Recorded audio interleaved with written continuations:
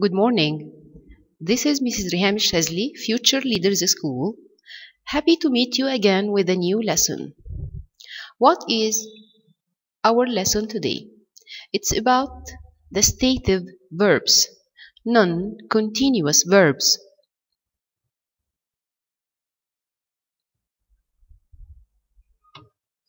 Stative verbs are the opposite of action verbs. Action verbs describe actions we take or things that happen. But stative verbs describe states. They refer to the way the things appear or the state of being. Stative verbs are never, never used in continuous forms like present continuous, past continuous, present perfect continuous, and so. They are divided into five types.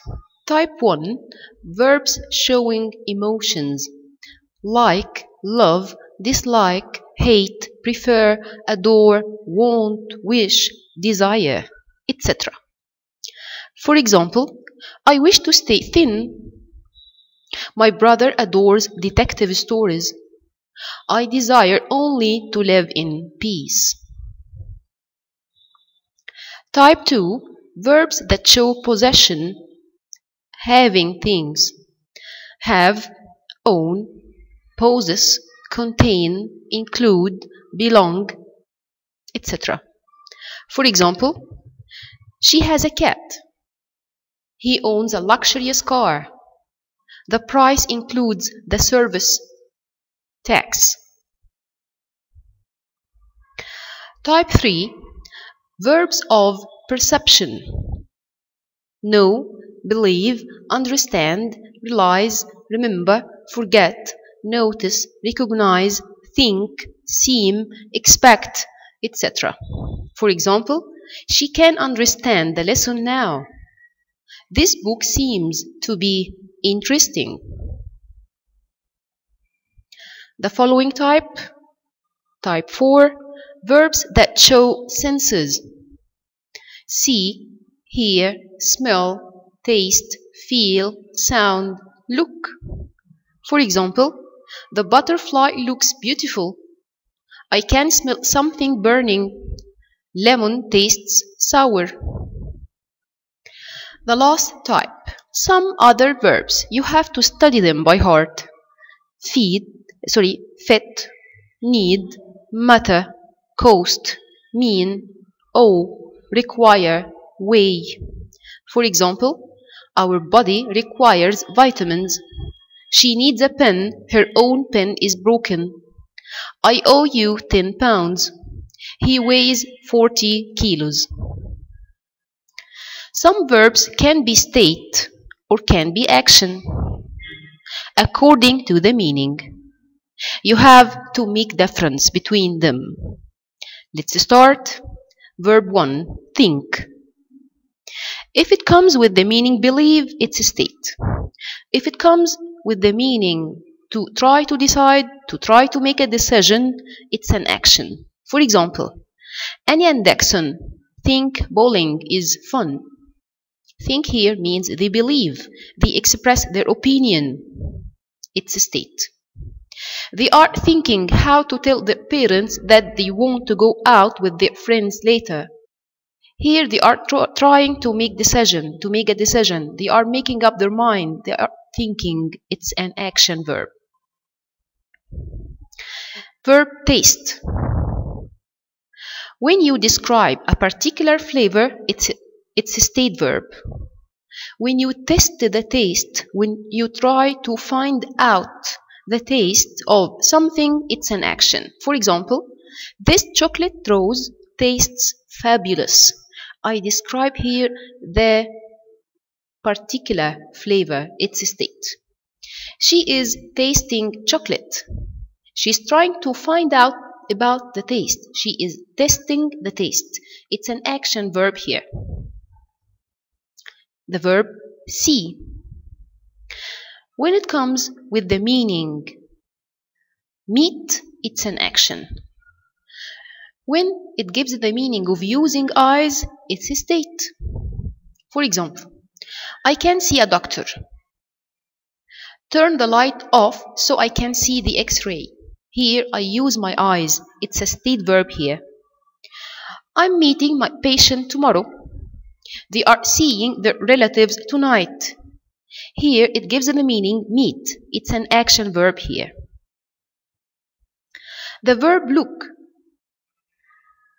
This butterfly looks beautiful. I describe here the appearance. She is looking at the butterfly. She is directing her eyes to look at something. It's an action verb here. In example 1, I describe the appearance, a state verb. In example 2, I direct my eye to look at something. It's an action verb. The verb feel. The baby's hair feels like silk. Here I describe here the feeling. It's a state verb. But the doctor is feeling the patient's forehead. The doctor is touching here the patient's head to find out about something. It's an action verb here. In example 1, I describe the feeling. I describe the feeling of my touch to the baby's hair. It's a state. But in number 2, feel here means touch to find out about something. It's an action verb. The verb smell. These roses smell beautiful. I describe the scent of flowers here. It's a state verb. She is smelling the rose. She is sniffing the rose. It's an action verb. Have. She has a cat. It's a state verb. It means this cat belongs to her. She owns a cat. It's a state verb. Example 2, the cat is having a swim. It means here it is swimming. It's an action verb.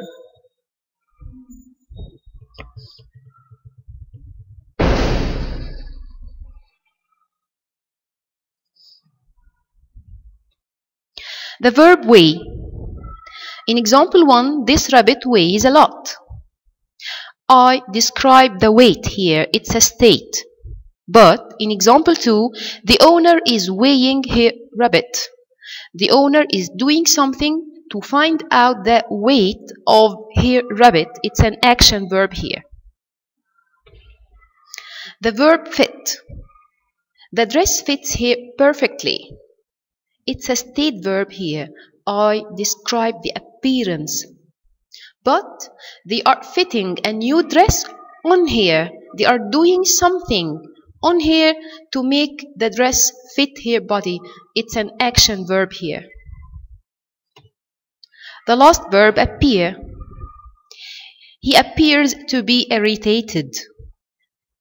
It's a state here because I describe the appearance. Cameron Diaz is appearing in Green Hornet soon. It means it, she will be shown on TV soon. It's an action verb here. In example 1, I describe the appearance of the irritated man. But in example 2, the verb appear means that you will be able to see something on TV. Thank you for your time. I hope you will get benefit. Meet you again. Goodbye.